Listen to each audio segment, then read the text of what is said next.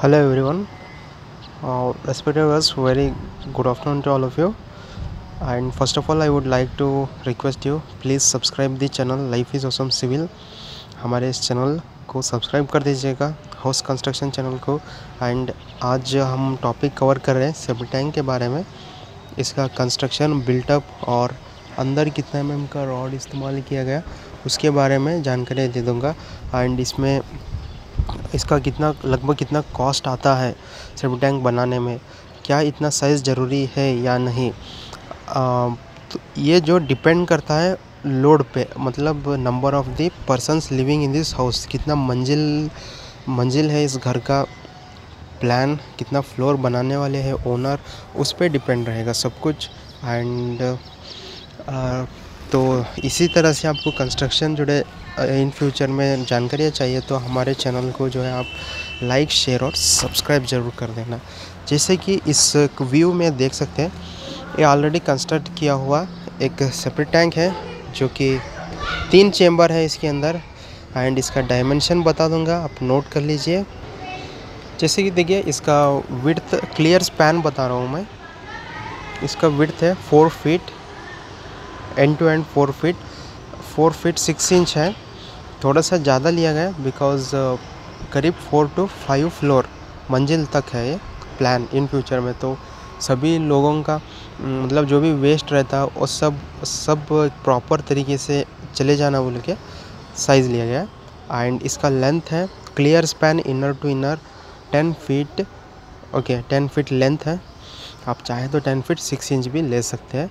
तो ये फ़िलहाल है ten feet six inch and उसके अंदर नेक्स्ट आता है बार बार जो है डबल रेनफोर्समेंट किया गया इसके लिए।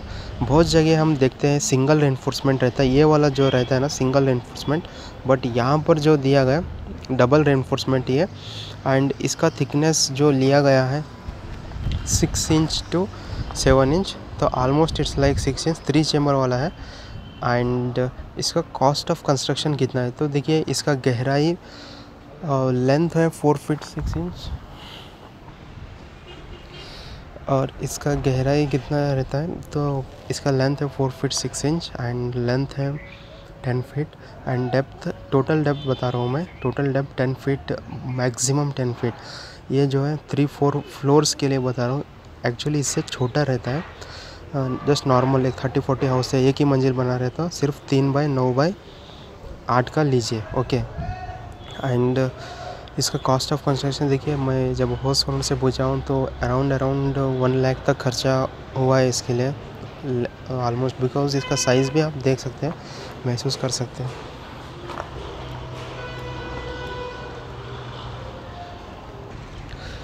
तो रेनफोर्समेंट डिटेल इस तरह का।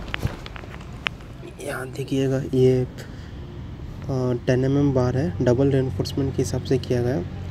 टेन एम एम बार, ये वाला मेन मेन बार जो है वर्टिकल बार आपका ten M M horizontal bar जो है एट एम एम लिया गया। एंड एकदम बीचों बीच यहाँ से इसका क्लियर स्पैन मिलता है। फिर नेक्स्ट यहाँ से भी आपको क्लियर स्पैन मिल रहा है। तो सेम इसी तरह इसको कवरिंग अच्छा सा दिया गया है। वो एक इम्पोर्टेंट चीज़ है। एंड ये जो, ये पेन है सेलो टेक्नोटिप आप खुद देख सकते हैं। इसका विड जो है, इस पेन से भी ज़्यादा है। लगभग इस पेन से थोड़ा वो एक आधा इंच ज़्यादा है। एंड तीन चेम्बर बार जो है, जैसा मैं बताया था एल बैंड भी अच्छा से किया गया। तो अभी इसको थोड़ा सा रेस किया तो भी अच्छा सा ग्रिप पकड़ लेगा। स्लैब जो डालते हैं अच्छा सा ग्रिप पकड़ने के लिए एक्स्ट्रा बार रखा गया। एंड इसमें ये तीन फीट क्लियर स्पैन मिल रहा है। वहाँ पर भी तीन फीट वहाँ पे तीन चेम्बर वाला ही है separate tank so cost of construction for separate tank हमारा मेन टॉपिक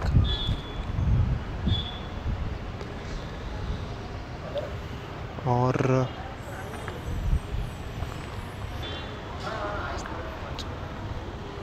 हम्म, वहाँ से इनलेट रहेगा।